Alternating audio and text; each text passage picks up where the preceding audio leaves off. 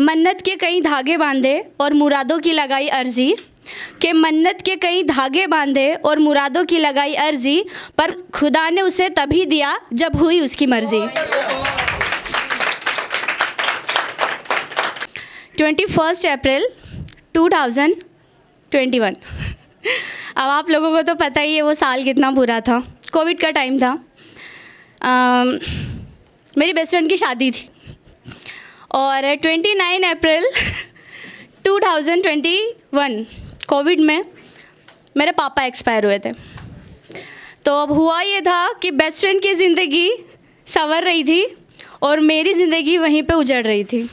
उसकी राहों में फूल बिछ रहे थे और मेरी राहों में कांटे। फ़र्क सिर्फ़ इतना है कि वो सवरी हुई ज़िंदगी भी किसी उजड़ी हुई ज़िंदगी से कम नहीं थी, क्योंकि शादी के बाद हर किसी की उजड़ती है, सिर्फ़ लड़कों की नहीं, लड़कियों की भी। तो सिचुएशंस ऐसी बनी ब्रेकअप हो गया बेस्ट फ्रेंड्स का, काफ़ी लंबा अट्ठारह महीनों का।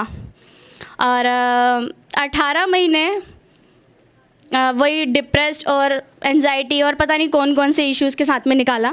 उसके बाद में, चौदह महीनों के बाद में, सोचा चलो खुद को उठाते हैं, वापस से नई शुरुआत करते हैं। तो फ्रेंड के घर पे छठ पूजा में दोनों को इनवाइट किया गया, उसको भी और मुझे भी। फ़र्क सिर्फ़ इतना था कि मुझे मेरे दोस्त ने खुद से इनवाइट किया था, उसे भी किया था, लेकिन उसके पास बीस, पचास, साठ कॉल्स जो थे, वो मेरे द्वारा किए गए थे। मैं भी पहुँची, वो भी पहुँची। दोस्तों ने हमको मिलवाया कि नहीं नहीं, बात कर लो। क्योंकि चाहती तो मैं यही थी। अब बता नहीं सकती ना कि यही चाहती हूँ। ईगो आ जाता है। लेकिन जा रही थी मेरी स्कूटी पे, वो पीछे आके बैठ गई। मैंने सवाल नहीं पूछा, कहाँ जाना है, क्या करना है, हम वहाँ से निकल गए बस। रास्ते में जाके पूछा, कुछ खाया? उसने बोला, खिला दे। मैंने बोला, चल ठीक है। बस वहीं से फिर वापस से बातचीत स्टार्ट हुई। अब पता तो था आज परफॉर्म करना है, लेकिन कुछ था नहीं परफॉर्म करने के लिए। तो सुबह से मैंने छः लोगों से बोला यार मुझे परफॉर्म नहीं करना। उन छः लोगों ने बोला, अरे यार, क्यों कर रही है ऐसा? नहीं नहीं, तू परफॉर्म कर लास्ट टाइम भी अच्छा था। सबने बोला। फिर उसी फ्रेंड को मैंने कॉल किया। यार, मैं परफॉर्म नहीं कर रही हूँ। उसने बोला, नहीं करना है? अरे भाड़ में जाने दे, चल, सुन के आ जाएँगे वापस। तब मुझे पता चला कि ये फ़र्क होता है फ्रेंड और बेस्ट फ्रेंड में। फिर जब अट्ठारह महीनों के बाद में जब हमारी बातचीत हुई तो मैं ऐसे इंसान हूँ कि इंट्रोवर्ट के सामने एक्सट्रोवर्ट और एक्सट्रोवर्ट के सामने इंट्रोवर्ट तो जब बोलने लगती हूँ तो इतना ज़्यादा बोल जाती हूँ कि पता ही नहीं चलता है कितना बोल रही हूँ। तो ऐसे ही उसके साथ भी हुआ। बातें होती थी तो इतनी होती थी इतनी होती थी कि होती ही जाती थी।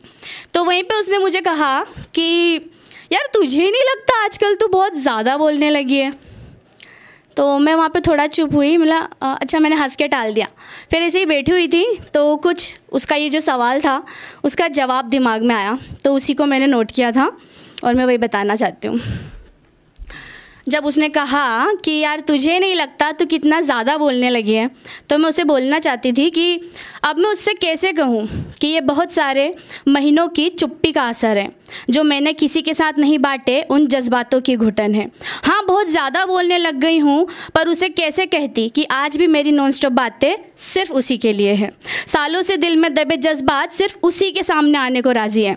उसके ना होने पर मैंने बात तो सबसे की, लेकिन बात करने का हक आज भी सिर्फ़ उसका है। उसका लगना कि मैं बातें बहुत करती हूँ, ये लाजमी है क्योंकि। उसके बाद की खामोशी जो उसने देखी ही नहीं, जहाँ मेरी बातें मुझमें ही रह जाती थी। मैं कैसे कहती उसको कि महीनों की बातें चंद दिनों में कैसे पूरी कर लूँ? रखे हैं जो उसके हिस्से के जज्बात, वो किसी और के साथ कैसे साझा कर लूँ? हाँ मुझे पता है मैं बीते जज्बात अब नहीं निकाल सकती। रह गई जो बातें अधूरी, उन्हें पूरा नहीं कर सकती। लेकिन जो महीनों का नुकसान हुआ है मेरा, उसे कैसे पूरा ना करूँ? एक वही तो है जिससे मिलता है सुकून। तो अपने ही सुकून से दूरी कैसे बर्दाश्त करूँ? अब तुम ही बताओ, उसके लगने से क्या मैं बात करना बंद कर दूँ? Thank you